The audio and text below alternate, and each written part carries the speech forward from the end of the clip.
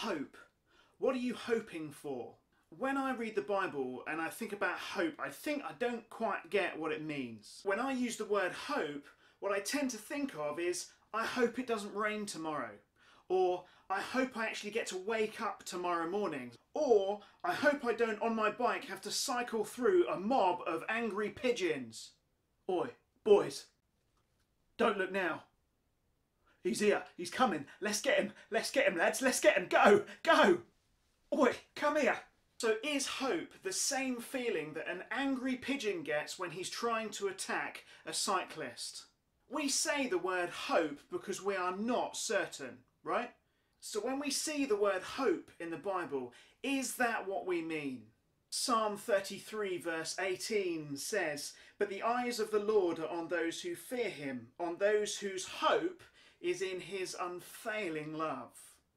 And then verse 22, May your unfailing love be with us, Lord, even as we put our hope in you.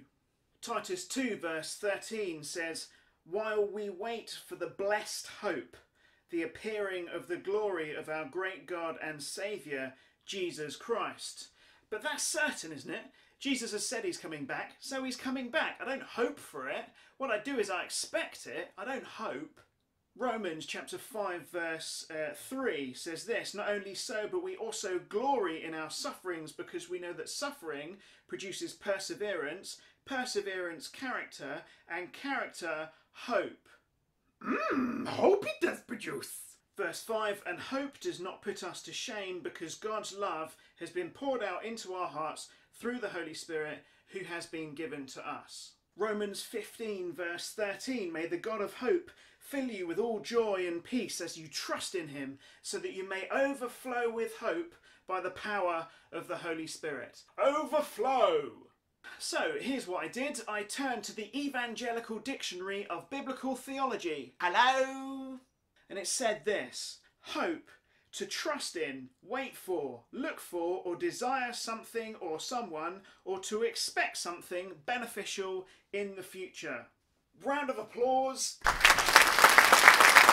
for redefining the word hope so it's completely meaningless. See, when we use the word hope, it's not just the feeling that an angry pigeon gets when he spots a passing cyclist. Flapping his face, boys! Flapping his face! See, we tend to use the word hope in all sorts of different ways.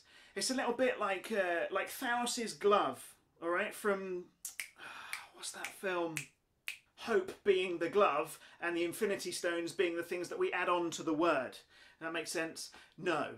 See, there's a big difference between the person who has bought a lottery ticket, yes, and then doesn't win, versus a kid who's at the side of a swimming pool in their Speedos and oversized goggles saying, I really hope I get to go in soon.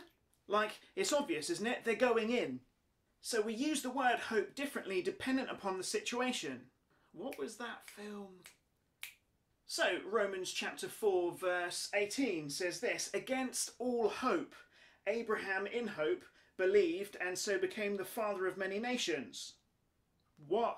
Let me read that to you in the New Aaron version. The New Aaron version reads it just like this Against all lottery hope, Abraham in swimming pool hope believed and so became the father of many nations. Genius! So let's move on back to our definition of the word hope. To trust in, wait for, look for, or desire something or someone, or to expect something beneficial in the future. Round of applause for getting it absolutely correct. So, what does the Bible word hope mean for us? Romans chapter 15 verse 13 says, May the God of hope fill you with all joy and peace as you trust in him, so that you may overflow with hope by the power of the Holy Spirit.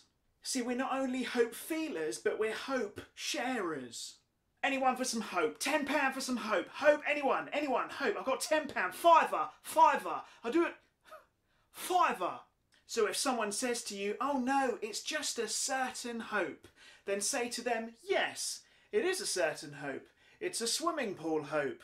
And then walk off smugly. Now, I don't know about you, but I think the world recently has gone down the scale of hope down to the lottery hope, and that's all they can think about. I hope I don't die. I hope I don't get COVID 19. I hope lockdown's over soon so that I can stop eating sweets. Let's be people of swimming pool hope. Let's have an excited expectation of sharing the thing that Jesus died for.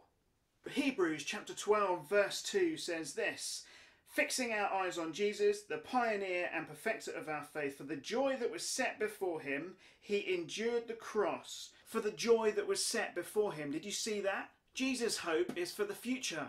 That was his hope as he was going to the cross, and our hope for the future should be there too. So you see, our hope is built on nothing less than Jesus' blood and righteousness. See what I did there? So, do you want to build your tired soul up with hope? Then spend time with God, relaxing with Him, looking into the future and seeing what's to come, and be a hope sharer.